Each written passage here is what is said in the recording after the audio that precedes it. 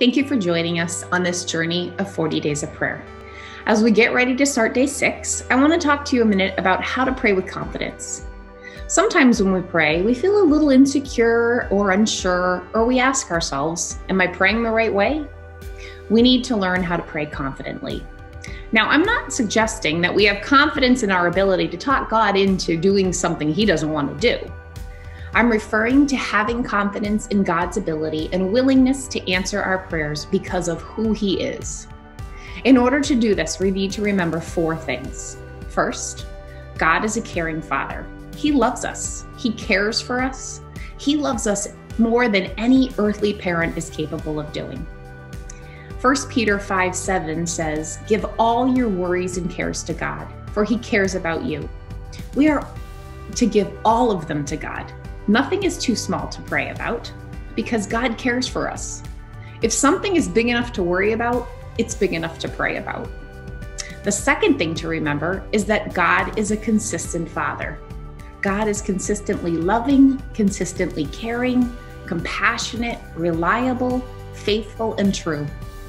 Malachi 3 6 says, I am the Lord. I do not change. God is always the same, always loving us, regardless of whether or not we turn our back on God, He consistently loves us. The third reason is God is a close father. He's not distant, He's not absent, He's never too busy for you. He loves to meet your needs, He's sympathetic to our hurts.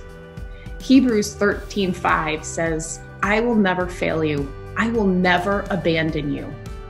Just because we don't always feel close to God doesn't mean He's not close to you.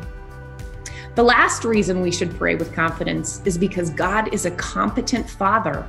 God can handle any problem we give Him. Nothing is too big. He can handle any problem you face. Luke 137 says nothing is impossible for God. It's pretty clear there. Is there anything in your life that is that you feel is impossible for God to do? What's your biggest fear? Your biggest dream? Don't limit God.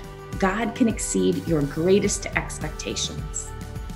So, the four reasons we can pray with confidence this week is because we know God is a caring Father, God is a consistent Father, God is a close Father, and God is a competent Father. I hope you'll remember these and that you don't limit God when you pray. Pray with confidence as we pray together over each topic this week.